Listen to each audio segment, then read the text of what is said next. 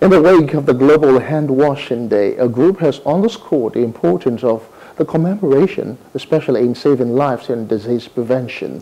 Uh, this was the major thrust of the sensitization of workers at the hotel here in Lagos. Plus TV News correspondent Emmanuel Olubobokun was at the sensitization program and now reports.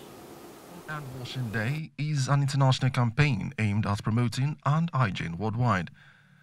It emphasizes the importance of washing hands with soap and at critical points during the day. In 2008, GHD was celebrated for the first time with the aim of raising awareness on the importance of hand washing to prevent diseases and infections.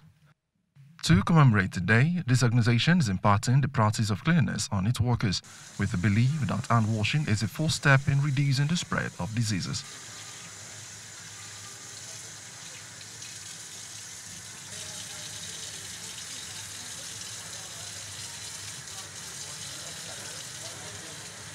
Citing the COVID 19 pandemic in 2020, Martins Isaac, the organization's managing partner, emphasizes the importance of hand washing and why they have impact on this campaign. For us is that we're just trying to sensitize people and remind people on the importance of hand wash, you know.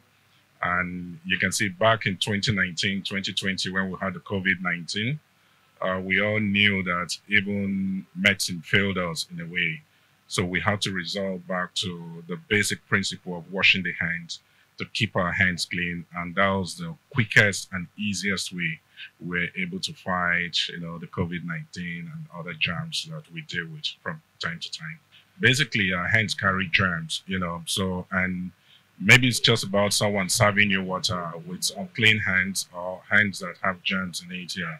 And it can easily get contaminated that way. You can fetch your water you drink the water. He says government should not only be involved in setting up policies, but also in implementing them. Beyond policies, which I know in Nigeria we have good policies, I, I, I think one of the key areas we really need to deal with is the implementation of these policies. Uh, the government, yes, uh, maybe uh, particularly through the local government, because sometimes you have to take this campaign local. You know, it's not just, um, it's beyond us here. We stay here, we have access to better water, but when you go to the rural areas, you know, or people who don't have access to information, you know, it's quite a bit of a challenge. So beyond the government, you know, trying to assist and making policies, I think that uh, we need to do more, you know, in terms of educating, in terms of sensitizing people, go to schools, teach children how to wash their hands, teach children about germs. You know, there should be a section that talks about preventive diseases, you know, preventive germs that, you know, we can prevent just by washing our hands. Some participants speak about the involvement. Mostly people take hand washing for granted, but the recent COVID-19 pandemic is supposed to be an high hope now for everybody. That we don't joke with the issue of health, the issue of cleanliness. Uh, there is a common saying that cleanliness is next to godliness. And until we're all conscious of this, honestly, history may be repeating itself one million times. But of course, if we are all conscious that we have to keep our environment safe, then we can conquer a lot of challenges. We know germs they don't have legs, they don't have hands. It is human beings that actually transport them from one place to another. So that is why washing of hands is important. We also said that your health is in your hands.